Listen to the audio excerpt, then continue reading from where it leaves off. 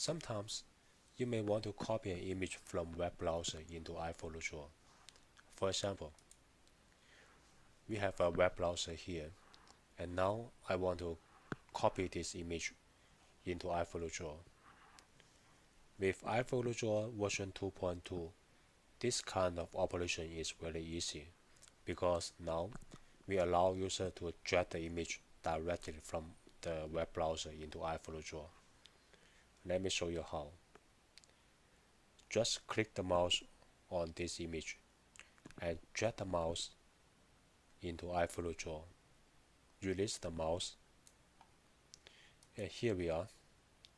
It's just so easy.